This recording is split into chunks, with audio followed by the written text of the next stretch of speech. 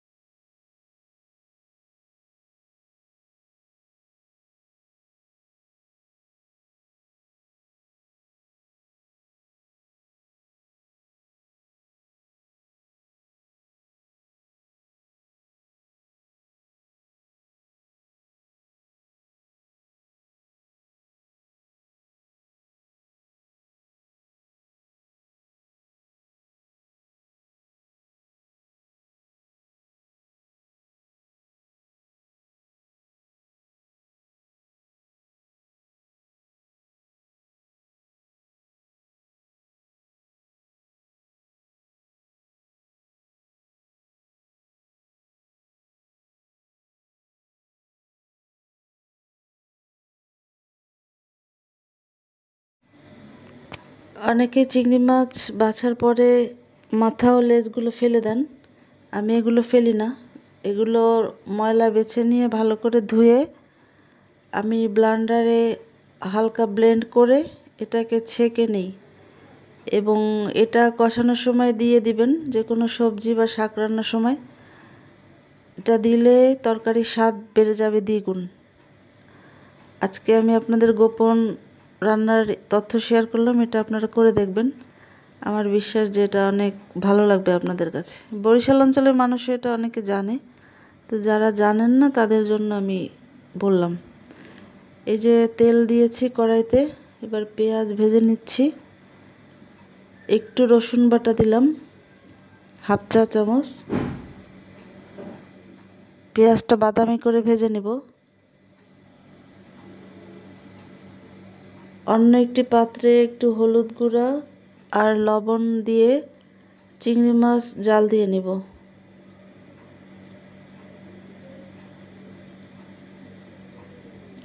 অল্প একটু পানি দিলাম, জাল দেওয়ার জন্য যতটুকু লাগে।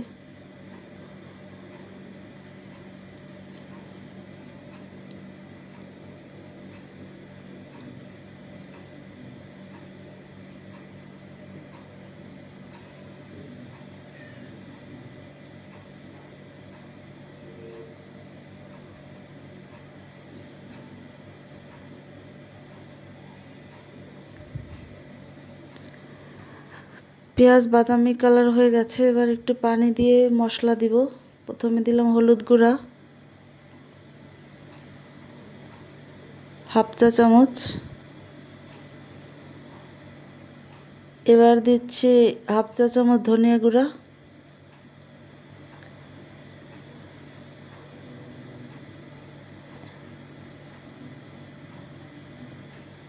অল্প একটু মরিচ গুঁড়া দিব, হাফ চা চামচের মতো। যেহেতু আমি কাঁচা মরিচ দিব বেশি করে, তাই গুঁড়া মরিচ অল্প দিলাম। লবণ দিব, দিয়ে ভালো করে কষিয়ে নেব। কষানো হয়ে গেলে আমি চিংড়ি মাছের মাথা লেজ যেটা ব্লেন্ড করে রেখেছিলাম, সেটা ছেঁকে দিয়ে দিব ভালো করে ছেঁকে নিব। ছাকনি দিয়ে যতটুকু সম্ভব নেওয়া যায়। তারপরে এটাকে ভালো করে কষাতে হবে।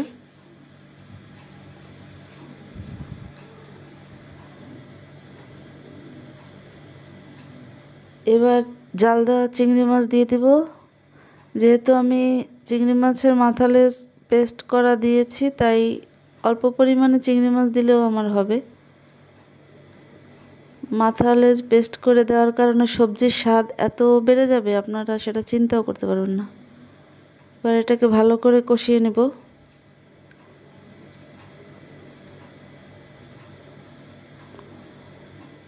এবার সবজিগুলোকে দিয়ে দিব মশলার মধ্যে।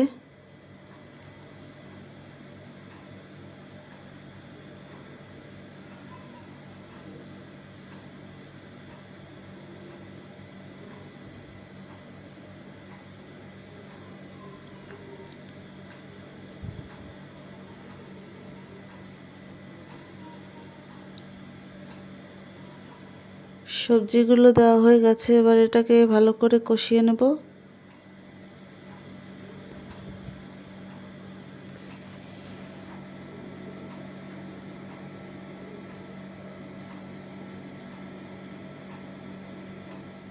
কাঁচামরিচ দিয়ে দিলাম, পাঁচ ছয়টি। মাঝখান থেকে চিড়ে নিয়েছি কাঁচামরিচ। যেহেতু গুঁড়ামরিচ অল্প দিয়েছি, কাঁচামরিচ দিব তাই। কাঁচামরিচ দিলে সবজির স্বাদ অন্যরকম টেস্ট হয়। একটা ফ্লেভারও আসে সুন্দর। সবজি কষানো প্রায় হয়ে গেছে।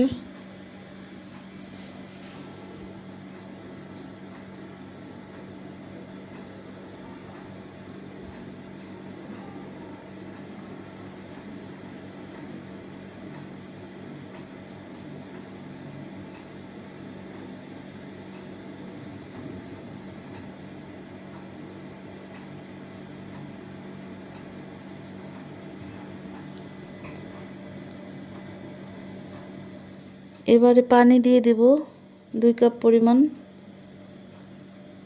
এই রান্নাটা একটু ঝোল ঝোল রাখব, তাই দুই কাপ পানি দিলাম।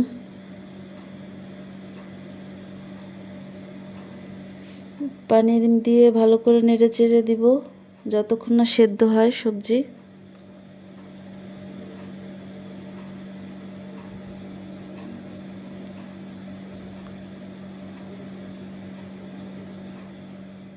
পনেরো থেকে বিশ মিনিট লাগবে সেদ্ধ হতে এই যে রান্না প্রায় হয়ে আসছে।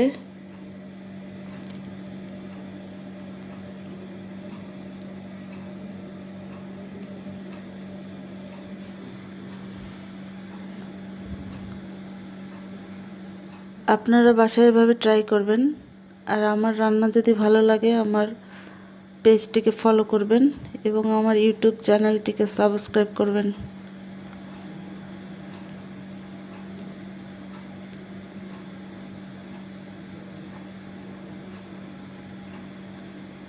সবজি রান্না শেষ। আপনারা এভাবে রান্না করে দেখবেন যে কি মজা হয়। আর যারা সবজি খেতে চায় না, তারাও এভাবে রান্না করলে দেখবেন খেয়ে নিবে চেটে পুটে সবাই ভালো থাকবেন। আল্লাহ হাফেজ।